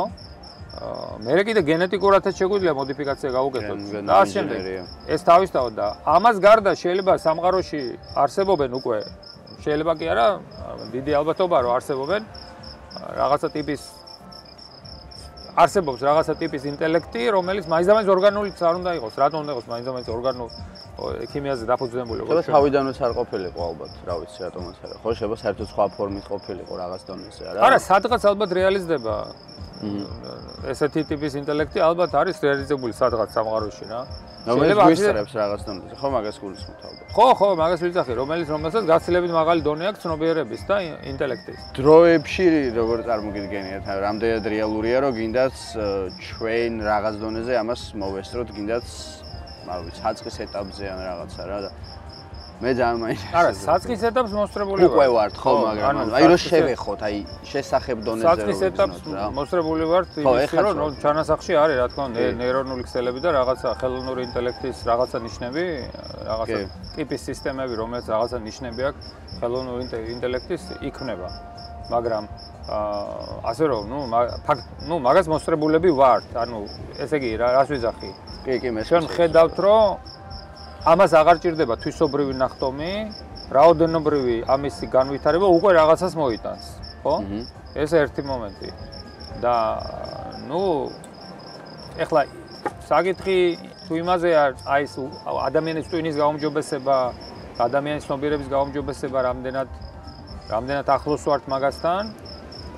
ნუ ეხლა ხო, ეგ ცოტა ცოტა ის არის, რა ქვია, ცოტა შორეული შედარებით შორეული პერსპექტივა, მაგრამ მანდაც ხო გესმით, არა ძალიან არაცფივია მეცნიერების განვითარება და შეიძლება ერთ ღამეში მოხდეს ისეთი გარღვევა, რომ ეს ყველაფერი გახდეს შესაძლებელი ძალიან სწრაფად, რა. ამიტომ მე არაფერს არ გამოურიცხავდი. ანუ მაგრამ რა თქმა უნდა, ჩვენი ცივილიზაცია რაღაცნაირი საინტერესო ცივილიზაციაა, იმიტომ რომ ერთის ხრივ აქვს ესეთი ფანტასტიკური რა მიღწევები. და მეორე მხრივ ვარ, ხო, და მეორე მხრივ ვარ პრიმიტიულები და რა ანუ ფასეულობებზე ვერ შევთანხმდით ამდენი ხანი, რომ როგორ შეიძლება ცივილიზაცია, რომელიც ლაპარაკობს ხელოვნურ ინტელექტზე, ადამიანის რაღაცა გაუმჯობესებაზე, ვერ შეთანხმდეს იმაზე, რომ ადამიანი არ უნდა მოკლა. ხო. აი ეს ეს ეს როგორ როგორ შეიძლება თავსდებოდეს ერთ და იგივე ცივილიზაციის ფარგლებში, რომ ცივილიზაციამ ის ვერ დაარეგულიროს, რომ ადამიანები არ იყופებოდნენ, ხო? უფლებების და უფლებები არ ილახებოდეს, შორს რა რადგანაც ასვლა აგე უკრაინაში რა ხდება. ხო. ხო. ეს არანაირად არ ჯდება იმ ჩარჩოში, რომ ჩვენ ჩვენ თავს უძახით მოაზროვნე ადამიანებს. ეს რაღაცა ის არის, რა ქვია. ეს არის რაღაცა აბსურდი. და ამიტომ ვიზახი ეს იმდენად არაცფივია ეს ჩვენი საზოგადოება, ჩვენი ცივილიზაცია, რომ მანდაც შეუძლებელია სურპრიზების გამორიცხვა. იცით რა არის, ნებისმიერ მომენტში ჩვენ შეიძლება შევიდეთ ჩვენ ვერც კი მოვიდეთ აზე ისე რაღაცა შუა საუკუნეების აჰა ნაირ ბნელეთის პერიოდში. მუშებ გადავიდით. იმიტომ რომ როგორ აი შუა საუკუნეების რატო ვიზახი ხომ? შუა საუკუნეებში ხო ხდებოდა ტექნოლოგიების განვითარება. ის ხო არისო რომ რაღაცა თქვა თითქოს მაგრამ რაღაცნაირად სიბნელეს შეაიძირა ხო კაცობრიობა რაღაცა გარკვეული დროის განმავლობაში. არის ხალხი ვინც რაღაც მაგალითად რაღაცა ლექსიებს კითხულობს, რაღაცას იმაშვება, რაღაც რაღაც თავი რაღაცა ღრმა ინტელექტუალურ პასაჟებში შედის, ასე შემდეგ, ყავს დიდი აუდიტორია. აი, ნუ რადგან შორტ წასვლა შეგიძლიათ YouTube-ზე და იმაზე შეხვიდეთ. და მე გამოვა და იტყვის, რომ უკრაინის ბრალი იყო ომი. ანუ ხო გესმით არა? და ეს ხო და ბნელეთი ეს არის, მეტი გერაფერი. რაღაც ელემენტარული, ესე იგი, რაღაცა შეიძლება იმდენად ჩაგითრიოს ამ რაღაცა რაღაცა იმან, რა ქვია, ფაქიზმა სტრუქტურა და ამის იმან, რომ ვერც კი მიხვდე, რომ რაღაცა აბსოლუტურად ელემენტარულში მოტყუდე რა. აჰა. ესე იგი, შენ შეიძლება რაღაცა კოშკები ააშენო ლოგიკის იმის, ამის იქ ბიბლია ბიბლია მოიყვანო და მე მე თქვა რომ მსხვერპლის ბრალია რომ მსხვერპლია. ხო გესმით არა?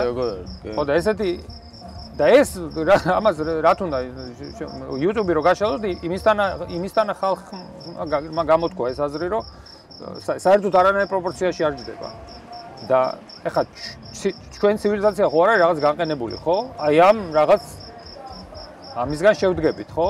ანუ ხალხი ვისაც ეს ხალხი ვისაც რაღაც ავტორიტეტი აქვს ის აქეთ და ამ შემდეგ და ამიტომ მან ძალიან რთულია გათვლა რა.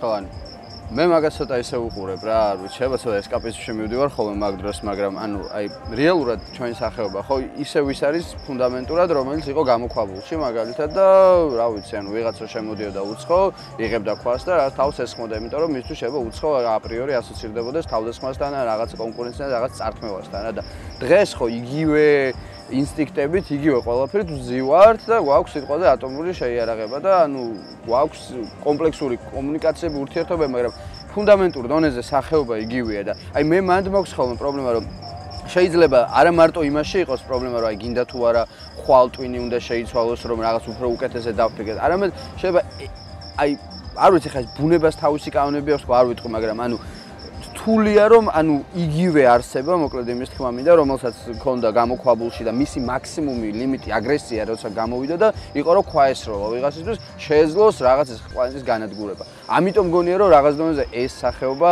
მალე უნდა შეიცვალოს საკუთარი თავი რაღაც დონეზე უნდა შეცვალოს. რა გინდათ აი ეს ინსტინქტები რაც უფრო არის დაკავშირებული იმ იმ იმ იმ სახის აგრესიასთან რა. მე არ ვამბობ რომ აგრესია უნდა გაქრეს. არავინ არ იცის რა სახის აგრესია შეიძლება კონდეს მომავალში სიტყვაზე იმას რაც იქნება მაგრამ მე მაინც მგონია რომ ურთიერთშეუთავსებულობაა, როდესაც ესეთი არსება იხა დგას და ლაპარაკობს, მოდი მარსზე წავალ და ეხა მასკირობ და იქ ატომურ ბომბს ჩამოვაგდებ და რაღაცა გადავლენ და ახალი ადამიანები იცხოვრებენ. ანუ ძალიან რთულია რომ იგივე არის სინამდვილეში, ხო, ფუნდამენტური ის ადამიანი რომ გამოიყვანო, გამოქვაბული და გაგეზარდა ჩვენს რეალობაში, იგივე იქნებოდა, იგივე გაიზრდებოდა. იქ ლაპარაკებ და რა კვანტურ მექანიკაზე. ხო, ვილაპარაკოთ მაგაზე. ვილაპარაკოთ მაგაზე. ანუ ადამიანის ქცევა და ტვინი და ეს არის კომპლექსური მოვლენა, ხო? ყველანაირ რაღაცა საქციელს აქვს უამრავი ფაქტორი, რომელიც განაპირობებს, ხო? ну, მათ შორის ომს, აგრესიას, თავდასხმას, ასე შემდეგ. ну, რა თქმა უნდა, ეს რაღაცა ამაში დევს რაღაცა ევოლუციური ფაქტორები. კი, ჩვენ შეგვიძლია ვთქვათ, რომ ევოლუციურად ჩვენ მილიონობით წელიწადი არა მარტო მას მე რაც homo sapiens-ი გავხდით, არამედ მანამდეც. ეს არის სახეობის გადარჩენა, ხო, რაც ჩადებული არის. ესე იგი, სახეობა ცდილობს რომ შეეგუოს და გადარჩეს, ხო? ეს ინსტინქტია ჩადებული. და ამის თამდევი ერთ-ერთი იყო რომ წინააღმდეგობა უცხოსთან, ხო? ესე იგი, შიში უცხოს მიმართ გამომდინარე იქიდან რომ შენ გინდა რომ რაღაცნაირად შენი სახეობა გადაარჩინო. ну ხო, არის ასე ვთქვათ, რაღაცა ევოლუციური ფაქტორის იმაში, რა თქმა უნდა, აგრესიაში, შენ შეგიძლია რაღაცა ყოველთვის რაღაცა ევოლუციური ფაქტორი მონახო, რა თქმა უნდა, ხო? და ეს ევოლუციური ფაქტორები ჩვენ ხელს გვიწყობდა გადარჩენაში. კი. რა თქმა უნდა, ამან რაღაცა ინსტინქტები გაგვივითარა, რომელიც გადარჩენაში გვიწყობდა ხელს, ხო? იმ იმ პერიოდში და იმ მოცემულობაში ის რომ შენ ნებისმიერ უცხოს განიხილავდი როგორც საშიშროებას, ეს რა თქმა უნდა, შენ გადარჩენაში გეხმარებოდა. ბუნებრივად. აბსოლუტურად სწორია. მაგრამ როგორც თქვით თქვენ, რაღაცა მომენტის მერე ზუსტად ბუნებრივი გადარჩევა ყოველ შემთხვევაში ისეთნაირად აღარ მიდის ჩვენ შორის, ხო? ესე იგი რაღაცა რაღაცა გადარჩევა მაინც მიდის, იმიტომ რომ ხო გესმით, რაღაცნაირად არის გარკვეული ნიშნები, ტენდენციები და ყოველთვის არის რაღაცა გარეშე ფაქტორები და ცივილიზაციაც კი რაღაცნაირად ცდილობს რომ ქვეცნობიერად ამ გარეშე ფაქტორს ფაქტორებს ეგუება, რა თქმა უნდა, ხო? მაგრამ მაგრამ, ну, ისეთ ისეთ პრიმიტიულ დონეზე აღარ მიდის გადარჩევა რა. ესე იგი რაღაცნაირად ჩვენი ტვინი დასტაბილურდა იმ თითქოს hardware და ჩვენი ტვინის hardware დასტაბილურდა და ამის მერე ამ hardware-ით მოვდივართ, ხო? და ვცდილობთ ახლა განვივითაროთ software განვივითაროთ, არა? ესე იგი ეს hardware გვაქვს, რაც გვაქვს და აქედან ამ hardware-ში ჩვენ ვანვითარებთ პროგრამას, რაც ამაშია ჩაწერილი, უხეშად რო თქვა და და ვცდილობთ რომ ეს პროგრამები განვივითაროთ. და ჩვენ გაგვიმართლა იმაში, რომ როდესაც ეს სელექციაზე რაღაცნაირად რაღაცნაირი საბოლოო ფორმა მიიღო ამ ჩვენმა ცნობიერებამ, ну ძალიან დაბალ დონეზე არა ვარ. ხო. და ეს აი ამის გვაქვს ჩვენ გვაქვს ობიექტური მაჩვენებლები. ობიექტური მაჩვენებლები, აი, ყოველ იგივე ფუნდამენტურ მეცნიერებაში ჩვენ ვართ აი ამ სამყაროში, ხო? რომელსაც რომელიც აი ეს უკიდეგანო სამყარო ჩვენ twins აქვს საშუალება და აქვს ძალა რო აღიქვას. საიდან ვიცით რომ ძალა აქვს რო აღიქვას? იმიტომ რომ ჩვენ მატვირმა შეიძლება გადაამუშაოს ეს ინფორმაცია და ისეთი წინასწარმეტყველებები გამოსცეს, რაც მე შემოწმებადია. ანუ ჩვენ ვიცით რომ ეს ჩვენი წარმოადგენები სამყაროზე რაღაცა ფანტაზიები კი არ არის. რეალობა ვიცით რომ გვესმის. ანუ წარმოიდგინეთ, აი მაგალითი რომ მოვიყვანო რა. დღეს ჩვენი კოსმოსური ჰორიზონტი არის დაახლოებით 10 ხარისხის 28 სანტიმეტრი. ნუ დაახლოებით რა. მილიარდობით სინათლის წელიწადი, ხო? ეს უზარმაზარი სივრცე. არის უზარმაზარი რაოდენობა ასკლავები, galaktikები, ნუ თვალ თვალზე. თელი ეს სივრცე წარმოიშვა ვიცით რომ თელი აი ეს სივრცე არსებობდა ერთ პატარა მონაკვეთში სივრცე სივრცის მონაკვეთში რომელიც ზომა იყო დაახლოებით 10 ხარისხად -25 სანტიმეტრი აი ეს რაღაც ეგეთი რა აი ეს რო ვთქვი რომ ადამიანის ტვინის შალაის ხო აი იქიდან მოვდივართ მთელი სამყარო. ანუ მათ შორის სამყარო კვანტური უნდა ყოფილიყო თავიდან. რა თქმა უნდა, თავიდან ის არა. სამყარო საკმაოდ კლასიკური იყო იმ დონეზე უკვე ისეთი სამყარო ისე საკმაოდ კლასიკური, მაგრამ კვანტურმა ეფექტებად ძალიან დიდი როლი ითამაშა იქ. მაგალითად კვანტური ფლუქტუაციები იყო, რომელმაც შემდეგ ეს აი ჩვენი galaktikები და ასე შემდეგ წარმოშვა, იმიტომ რომ სამყარო იქიდან გამოსული მაგას ქვია ეგრეთ წოდებული ინფლაციური სტადია. ხო. ინფლაციიდან გამოსული სამყარო იყო საოცრად ერთგვაროვანი. და ზუსტად კვანტურა მექანიკა მითამაშა იქ როლი, რომ არაერთგვაროვნები გაჩნდა. ანუ მუსიკა, მუსიკა ჩაიწერა ადრეულ სამყაროში კვანტური მუსიკა, რომელიც მე გაკლასიკურდა, იმიტომ რომ გაიწელა რა. და ჩვენი თელი ეს galaktikები და ყველაფერი რა საათ ჩვენ ჩვენ ვარ ეს წარმოიშვა მაგ მაგ ფლუქტუაციაზე. და მე რას ვიზახი რა რატომ მომყავს მე რომ ვიზახი რომ ადამიანის ტვინის აქ ერთის მხრივ რაღაცა საოცარი შესაძლებლობები, იმიტომ რომ დღეს მაგალითად კოსმოლოგიის კოსმოლოგიის პროფესორს შეუძლია რომ ეს სპექტრი ამ ფლუქტუაციების დაფაზე გამოიყვანოს. ანუ ხელით კომპიუტერიც არ ჭირდება. არ არის საჭირო კომპიუტერი. ცარცი რომ მომცეთ დაფაზე გამოვიყვან აი ამ ფლუქტუაციების სპექტრს. რომელიც მოდის იქიდან, როდესაც ეს მთელი ეს სამყარო იყო აი ამ აი ამ ზომის 10 ხარისხი 25 სანტიმეტრი, ხო, გასაგები.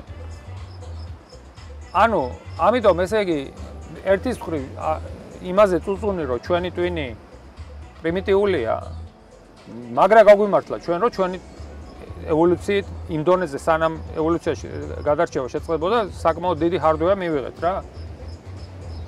ამიტომ მაგაზე დაბრალება რომ ჩვენი ევოლუცია ევოლუციიდან მოვდივართ ესე და აგრესია გვაქვს და ისა მე ვთვლი რომ ეს არ არის არა ერთ შაგეს იმას ვემ ანუ არ ვაბრალებ უბრალოდ გონია რომ ამ ეტაპზე საშიშია. არა გავიგე მაგრამ მან ხო ლაპარაკი რაზე არის ესე იგი მან ჩვენ შეგვიძლია ესე ვთქვათ რომ კი ბატონო ჩვენ უნდა hardware გავაუმჯობესოთ მანამდე არაფერი არ გვეშველება. ხო. ეს არის ერთი მიდგომა ხო? და მეორე მიდგომაა რომ თქვა რომ ეს hardware ამ ამ არსებული hardware-ით რაც გვაქვს ჩვენ შეგვიძლია შევქნათ ღირსეული ცივილიზაცია. აჰა. და ეს hardware რაც გვაქვს, რომელიც რომელსაც საშუალება აქვს, რომ სამყაროს ამ ხილა მასშტაბები აღიქვას და გამოწეროს დაითვალოს, როგორ შეიძლება არ იყოს საკმარის იმისთვის, რომ ჩვენ ვერ შევთანხმდეთ იმაზე, რომ ერთმანეთი არ უნდა დავხოცოთ. მე პესიმისტად არ მართალი. არა, გავიგე, მაგრამ გონია რომ რაღაც პრობლემა გვაქვს მაგხრივ რა. არა, პრობლემა რო გვაქვს გასაგებია. არა, მაგას არ უნდა ბევრი ბევრი ლაპარაკი. პრობლემა რო გვაქვს გასაგებია, მაგრამ პრობლემა ხანდახან ჩდება იმის გამო, რომ მე შენ ვერ აკეთებს, შენ ვერ აკეთებ მენეჯმენტს. ლაპარაკი არის იმაზე, რომ რატო გადავხდეთ აქ, როდესაც გვაქვს ექსპერიმენტული ფაქტი, რომ ჩვენი ცივილიზაცია ვითარდება. მაინც რაღაცა პროგრესი ამ ადამიანობის თვალსაზრისით ჩვენი ცივილიზაცია აკეთებს. მაგალითად არ ხო მაგალითად ადამიანის უფლებების დეკლარაცია ხო ხო რაღაცა დეკლარირებულად მაინც ხვდებით რომ კარგი რა არის ცუდი რა არის ხო ისინიც კი ვინც უზურპაციას აკეთებენ ძალაუფლების ისინიც კი ისინიც კი არავინ არ იძახის რომ მე არ მინდა ეს. იძახიან რომ იგი მეც ამას ვემსახურები მეც ამას ვიცავ. ოღონდ იქ რაღაცა ჩახლაპორტებული თეორიები აქვს რომ ან რაღაცა რა ვიცი რაღაცით ამართლებენ ან ან ან დიდი სლავური სახელმწიფო ან ან ან არიული და ამ შემდეგ ხო? რაღაცა. ეს ო ეს ხო ვიცით გავლილი გვაქვს. ყველა რაღაცით ამართლებს. ყველა აკეთებს თვითონ კაცობრიობის უკეთესი რა ის სტალინური რეპრესიები და ისინი რა ქვია ეგეც კოლექტივიზაციები და რა ეგეც იდეა ხო იყო რომ ეხა ჩვენ უნდა ეს ყველაფერი მომავალი თაობისთვის ხდება. ნუ იქ რა ვიღაცებს შევწირავთ, არ არის პრობლემა. და ასე შემდეგ, ხო? ჩვენ სხვანაი სხვა დედამიწა არ გაგვაჩნია. სხვა სხვა სხვა სხვა პარტნიორი რა ქვია, ცნობიერებაში ჩვენ არ ყავს. ჩვენ გვაქვს რაც გვაქვს და რაც გვაქვს, იმა ის არის ძალიან ძლავრი.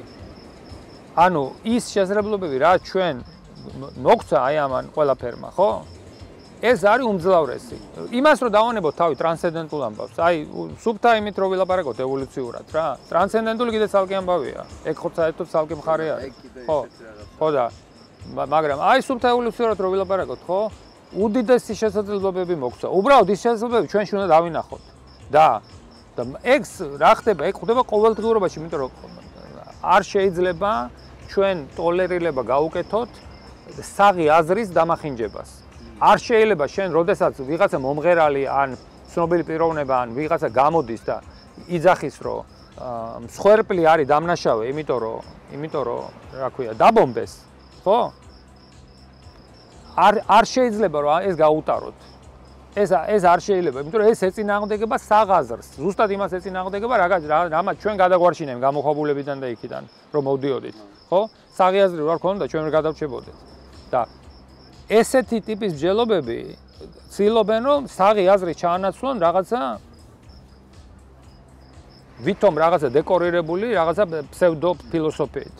აი მაგალითად დრო ავიღოთ, წარმოვიდგინოთ ფუნდამენტური შეკითხვები რა, ანუ სამყაროში რაც არის. აი მაგალითად რა შეიძლება იყოს უსასრულო? რა შეიძლება იყოს არაფრისგან სამყაროს გაჩენა. ანუ მე როდესაც ეს რაღაცებზე ვფიქრობ, მე ეს რაღაცებზე ვკიჟდები, ძალიან მიყვარს. მაგრამ პრობლემა არის ხოლმე ის, რომ მე საბოლოოდ მივდივარ იმ ჭიხში, რა, ხო, აი მე ხდება წარმოვიდგინე, რომ არსებობს ზღვის სიკით ასე ვერ ხდება. რაღაც წარმოვიდგინე. მაგრამ მე ვხედავ რომ ჩემს პრინციპი პრობლემები ფუნდამენტურ დონეზე არის. როდესაც ვაწყებ ფუნდამენტურობას, ანუ აი უსასრულო სამყარო პირობებს. ჩემი ტვინი არა ის რომ ვარიანტებს მთავაზობ. საერთოდ პასუხი არ გააჩნია რა.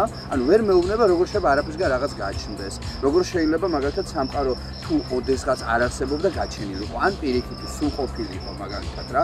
ან შეიძლება იყოს სიუცესო. ანუ აზუღე ვერსიებიც არ მაქვს რა. ნებისმიერი ადამიანი, ხო? ეს არის ჩვენი ბუნება ადამიანების, ხო? რომ ჩვენ ვცდილობ რომ სამყარო გავიგოთ. იმიტომ რომ ეგრე ვართ მოწყობილე, ესე ვართ მოწყობილე, მოწყობილი. ეს გვაქვს თანდაყოლი ცნობის მოყარეობა, ჯერ ეგერთი და მეორეს ერთი ეს არის ასევე გადარჩენის ინსტინქტი. იმიტომ რომ გამოქვაბულიდან რო გამოდიხარ შენ, შენ უნდა იცოდე ის რა რა რატო ფუნქციონირებს, რა არის მიზეს შედეგობრივი კავშირი და ასე შემდეგ, ხო? ასევე იმისთვის რომ გადარჩენ. ანუ ეს არის ჩვენი თანდაყოლილი, ჩვენი ბუნება, რომ ჩვენ გვინდა რომ გავიგოთ შევიმესოთ სამყარო და შევიმესოთ ჩვენი როლი სამყაროში. ეხლა ამ ამ კითხვების რეალიზებას ადამიანი სხვადასხვანაირად აგე. რა თქმა უნდა, ჯერგეთ ეს არის ძალიან ინდივიდუალური, ეს კი რა თქმა უნდა, ნებისმიერ ადამიანს თავის თავისი თავის წარმოდგენა აქვს და თავისი კითხვა აქვს და ასე შემდეგ, ხო? მაგრამ რაღაცა დისციპლინები ჩამოყალიბდა. რაღაცა ასე ვიტყოდი და რაღაცა ჩარჩოები, რაღაცა ფრეიმვორკები ჩამოყალიბდა, რომელიც არ არის ურთიერთგამომრიცხავი.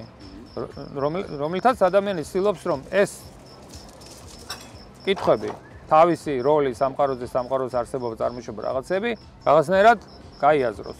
ან რაღაცნაირად ნუ უხეშად რო თქვა პასუხები იპოვოს. ერთ-ერთი ესეთი მიმართულება არის მეცნიერება.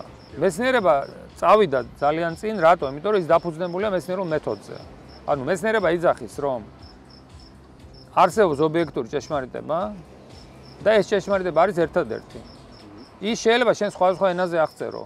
ეგ ოკეია, მაგრამ ჭეშმარიტება არის ერთადერთი. არ არსებობს დიას მეცნიერება, დათოს მეცნიერება არ შემე, ხო? არსი არის ერთი მეცნიერება. და ამას ჩვენ შეგვიძლია მივახციოთ მეცნიერული მეთოდით. და ბოლო-ბოლო ჩვენ შეგვიძლია შევთანხმდეთ ფაქტებზე, მიუხედავად იმისა, ჩვენი სოფხედულობები როგორია. არა არა აქვს ნიშნობა რა რელიგიის წარმომადგენელი ხარ, რა რა რა რა ტიპის, რა კულტურის არა აქვს ნიშნობა. მაგალითად, ზუსტად ის არის და უცხო პლანეტალის რო იყო. რა თქმა უნდა, ხადი უნივერსალურია, ხო? ეს არის ზუსტად მაგით არის, ეს არის ობიექტური ჭეშმარიტება. მაგ მაგაზე საუბარი. ანუ მეცნიერება აკეთებს ამ ამ მიმართულებით, ხო? იმას რა ქვია. ეს არის მეცნიერული ეს არის მეცნიერების ასე ვთქვათ ხიბლი. თელი, ხო? კარგით. ეხლა თქვენ გინდათ რომ ანუ აი ესე იგი აი ამ ფრეიმვორკში ესე იგი, როდესაც არის მეცნიერება და ამავე დროს არის პარალელური დისციპლინები, რა თქმა უნდა.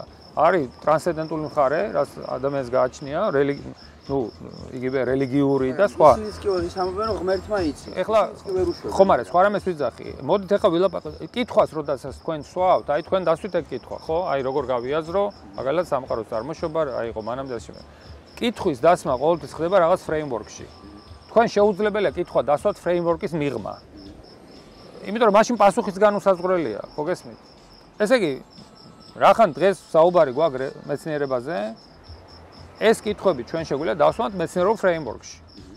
და მეცნიერულ ფრეიმვორკში ეს კითხვები დასმულია, ჩვენ მაგაზე მუშაობთ და გააზრებული გვაქვს. ანუ ჩვენ ვიცით რას ნიშნავს მაგალითად სამყაროს, როდესაც ვლაპარაკობთ სამყაროს წარმოშობაზე არაფრისგან, როგორც მეცნიერულ ჰიპოთეზა, ეს გვესმის ჩვენ რას ნიშნავს. ხო? ეხლა ლაპარაკი, როდესაც თქვენ ლაპარაკობთ წარმოდგენაზე, აი რას ნიშნავს წარმოდგენა? აი მაგალითად, სიტყვაზე დავუშვით ავიღოთ დამატებითი განზომილება, ხო? ჩვენ ამ დამატებითი განზომილებებზე შეგვიძლია წერთ მეცნიერულ თეორიებს. მეცნიერული თეორია რას ნიშნავს? ეს არის ეს უბრალოდ ის კი არის რაღაცა ასე ვთქვათ სურვილების სია. ეს არის კაცრად ჩამოყალიბებული მოძღრება, მათემატიკურად გამართული და ექსპერიმენტთან თანხვედრაში მყოფი, ხო? და საიდან ჩვენ რითაც ჩვენ შეგვიძლია манипуლირება და პასუხების პოვნა, ხო? ესე იგი. ეხლა ანუ ჩვენ შეგვიძლია დამატებითი განზომილებების თეორიაში ვიაზროვნოთ დამატებით განზომილების ენაზე ასე შემდეგ და უთხრათ მაგალითად ექსპერიმენტ ჩვენ ექსპერიმენტატორ კოლეგებს CERN-ში რა რა უნდა გაზომონ მათ და რას რას უნდა დააგვერდნენ ხო? ეხლა კითხვა.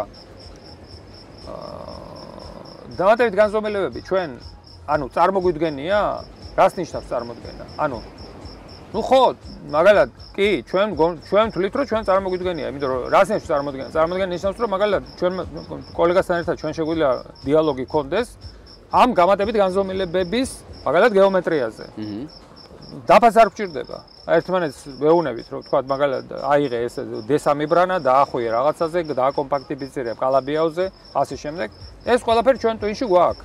ეხლა ვიზუალიზაცია ჩემთვის ეგ არის. ანუ მაგრამ ეს ხო არ მოდის ერთ დღეში. ანუ ეს ეს არის დაახლოებით იგივე რომ თქვენ რა ქვია წლობის ესე იგი წლების განმავლობაში ეს მოდის უამრავი მათემატიკური და ამოცანების ამოხსნით ამის ვიზუალიზაციის, ამაზე ლაპარაკის. ну, აი რაღაცნაირად შეგიძლია თქვენ თქვათ, რომ ეს არის რაღაცა მედიტაციის მეცნიერული მედიტაციის რაღაცა მრავალი წელია, რის მეცნიერს გეხსნებათ რა. ანუ ამის ვიზუალიზაცია ესე ხდება. და ну შესაბამისად, ეხლა მე რო მაგალითად დღეს ქუჩაში შევხვდე ვიღაცას და უთხრა რომ იცით მე მაქს თეორია დამატებით განზომილებებზე და ასე ისე და ამ ადამიანმა შეიძლება საერთოდ არაფერი არ წარმოიდგინოს, მაგრამ ეს ხო არაფერს არ ნიშნავს.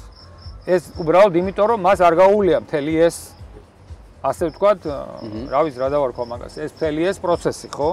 მრავალწლიანი დღე და ღამე ამაზე ფიქრი. აჰა. და მე რაღაცნაირად ტვინი ამას ეწყობა და რაღაცნაირად ტვინი გაძლევთ მე იმის საშუალებას, რომ ეს ეს სურათება დაალაგოთ რა.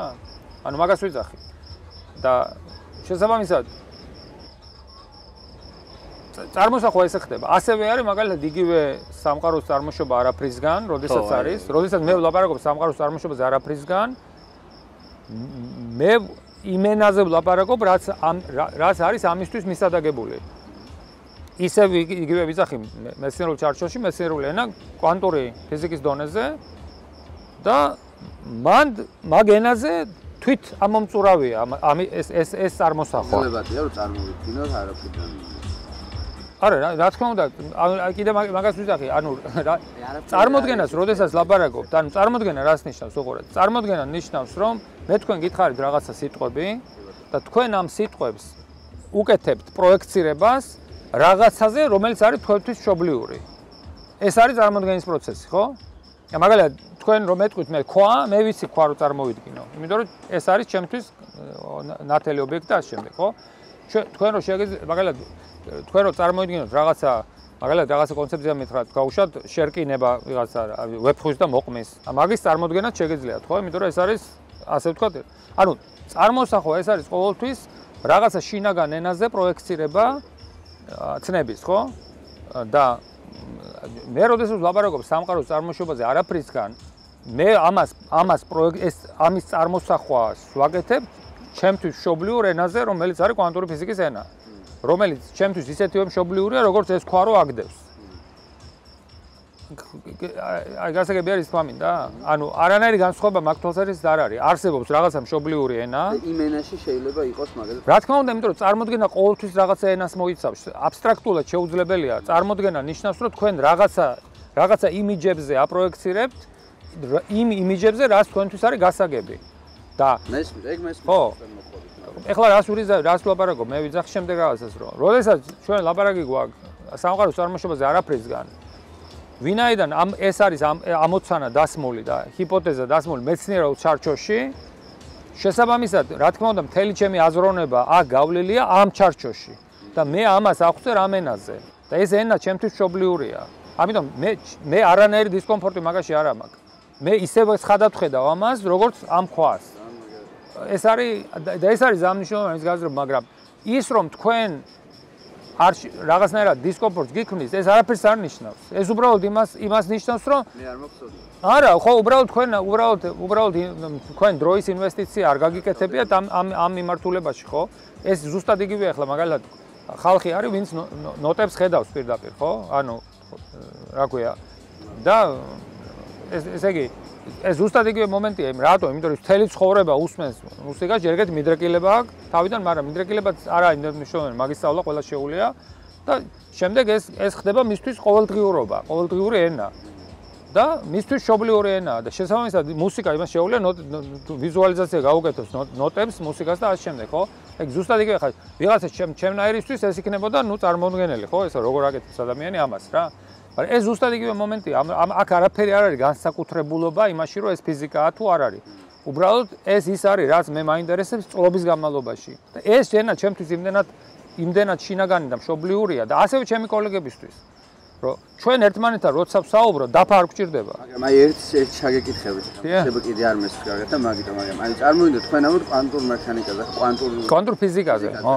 ანუ ამით ხედავთ, მაგრამ იმ გაგებით როგორც მე მესმის რომ არაფერი არ იყო თავიდან, კვანტური ფიზიკაც არის ხო? როგორც არა, არა, ფიზიკა არა, უყურე, არა, არა, სხვა რამეს არა, არა, უყურე. არსებობს სამყაროს აღწერა. რაღაცა ენა. მე ვიზახი რომ ენას დღესდღეობით ჩვენ რაც ვიცით, რა ენაც გვაქვს აჰა. და რა ენაც მუშაობს და არაფერი არ გვიპოვია ისეთი რამ სამენას შეაწინააღმდეგება, ეს არის კვანტური ფიზიკის ენა. კი ბატონო. კვანტური ფიზიკის ენა მუშაობს. კვანტური ველის თეორია, კვანტური მექანიკაც საწყისი ეტაპი იყო. შესაბამისად, ეს ჰიპოთეზა სამყაროს წარმოშობის არაფრისგან, ეს არის ჰიპოთეზა ამ ფრეიმვორკში. ამ ფრეიმვორკში რას ნიშნავს? ამ ფრეიმვორკში ნიშნავს, რომ კვანტური ფიზიკა ეს არის უბრალოდ ენა მოცემული არაფრისთვისაც და სამყაროსთვისაც. ანა არაფერი ამ შემთხვევაში ეს არის გარკვეული მდგომარეობა, კვანტური მდგომარეობა. კვანტური მდგომარეობა. რა თქმა უნდა, კვანტური მდგომარეობა, კვანტურ კვანტურ ფიზიკაში ყველა მდგომარეობა კვანტურია. უბრალოდ ამ კვანტურ მდგომარეობებს შორის არის ერთ-ერთი გამორჩეული მდგომარეობა. კვანტური მდგომარეობა იყოს რომ იყოს ხო ნაწილაკები ზონეზე რაღაც. არა, დაშვეშე ნაწილაკები იყო.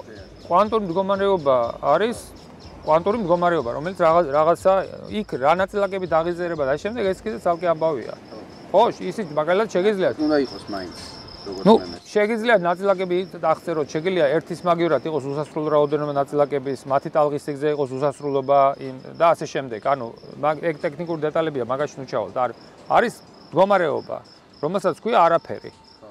მან თავარი რა, მუღამი რა არის, რომ არსებობს გადასვლის ამპლიტუდა, ანუ გადასვლის ალბათობა ამ მდგომარეობიდან ფერში, ასე ვთქვათ რა, არაფრიდან ფერში. ანუ ეს ფერი რა არის? როგორც წესი, ეს თეორია ესე ესე იგი არაფრისგან იბად გადასვლის ალბათობა არის არაფრისგან სამყაროში, იმაში, რასაც ჩვენ უკვე შეგვიძლია ჩაოლებრო ენაზე, აი თქვენ მაგალითად თქვენ იტყობთ, რომ ამის წარმოქმნა შეგიძლიათ. როგორც წესი, აღმოჩნდა, რომ ეს გადასვლის ალბათობები, რომ არაფრისგან სამყარო წარმოიშვას, აი ესეთი როგორც დღეს ვნახეთ, ამის ალბათობა არის პრაქტიკულად ნული. ნული არ არის სხვათა შორის. ასე რომ, ეხლა პრინციპში შენ შეგიძლიათ თქვენ შეგიძლიათ ყოველთვის თქვათ, რომ შეიძლება აი ეხლა ამ მომენტში გავჩდით ჩვენ არაფრისგან, აი როგორც ვართ. თელი ამ მეხსიერებებით და ასე შემდეგ. ხო, არის ეგეთი. არის არის მაგის ალბათობა, არა ნული. Ну ალბათობებზე ლაპარაკი ხო ალბათობა მაგისი რომ ესე გავჩდეთ არაფრისგან არის 10 ხარისხად ანუ ესეთ ესეთი ალბათობა ექსპონენტა ხარისხად მინუს 10 ხარისხად 121-ში. ანუ ეგ იმდენად პატარა რიცხვია, რომ არ არც კი ვიცი რა შეადარო. ფაქტობრივად ნულია, ნუ, ანუ ფაქტობრივად. მაშინ როდესაც ის იმ ისტორიით გაჩენილ გაჩენა არაფრისგან, სადაც ჩვენ მოვდივართ, აი პრაქტიკულად ერთიანის რიგის. ანუ ჩვენ გავჩნდით იმ ისტორიით რა. რა თქმა უნდა თლათ არაფერი არ არსებობს. ნუ რახან თქვი მე რომ ის კვანტური მდგომარეობა ის უკვე რაღაცაა, ხო? რა თქმა უნდა, ეს არის კვანტური მდგომარეობა, რომელსაც არაფერს უძახით ჩვენ იმიტომ, რომ მას არ აქვს არანაირი სტანდარტული მახასიათებელი. ოკეი? ეს არის მაგის განმარტება. ესე იგი, არა აქვს, არა აქვს ენერგია, არა აქვს ენტროპია, არა აქვს massa, არა აქვს არაფერი, მოკლედ, ესე იგი, აქვს ყველაფერი აქვს ნული, ასე ვთქვათ. ყველა სტანდარტული მახასიათებელი ნული აქვს. ოკეი, ახლა აქ იწყება ყველაზე საინტერესო მომენტი, ხო? საინტერესო მომენტი იმითი იმითი არის რომ ექვემდებარება თუ არა არაფერი დროს ანუ შემიძლია თუ არა მე თქვა რომ არაფერი მდგომარეობა არაფერში არსებობს დრო აა ნუ ლოგიკურად არა ანუ მაგ დროში მან თვითონ დრომაც ასე ვთქვათ არ უნდა იარსებოს თუმცა არის ვარიაციები, როდესაც რაღაცა ასე ვთქვათ, ცოტა შესუსტებული კონცეფციით არაფერია და ნუ ჩვენ შესაბამისად რაღაცა დრო შეიძლება არსებობს, მაგრამ ეგ ნაკლებად საინტერესოა, იმიტომ რომ მაშინ დრო. აი ყველა საინტერესო მომენტი არის, როცა დროც აღარ არსებობს რა.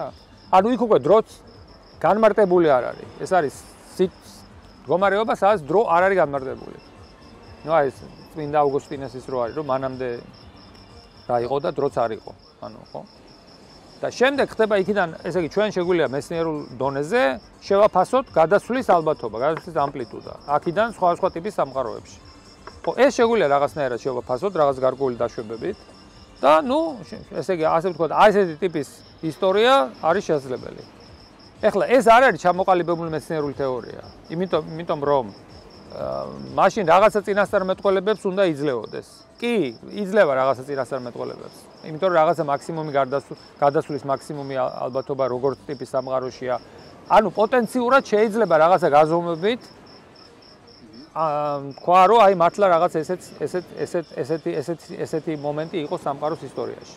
ჩემ ძალიან სასიამოვნო იყო რა ყოველთვის საუბარი და ძალიან ბევრი ისეთ შეკითხვა მქონდა აი მათ შორის აი არაფერზე და იმაზე რომ საუბრობთ რაც ну თულია რომ ზოგადად რაღაც ანუ ისეთ ადამიანს ესაუბრო ვისგან შეიძლება მიიღო ამას პასუხი რა და რავი ჩვენ მაყურებელს დარწმუნებული ვარ რომ ამ რაღაცისგან ძალიან სიამოვნებას მიიღებდა. ძალიან საინტერესო რაღაცები გველოდება წინ. ანუ კაცობრიობა და მომავალს მომავალი იქნება ძალიან საინტერესო. ნუ მომავალი ყოველთვის საინტერესოა. მაგრამ რაც უფრო დროგას სულ უფრო და უფრო იცვლება ხოლმე და რაღაც. აი, რა თქმა უნდა, უნდა შეიცვალოს და მომავალი ყოველთვის საინტერესოა. ალბათ.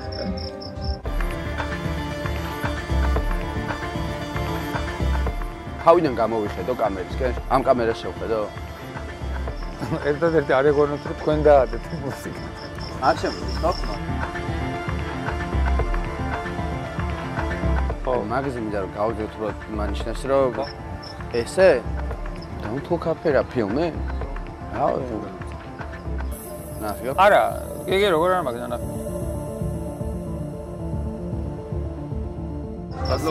და. ასეუნაება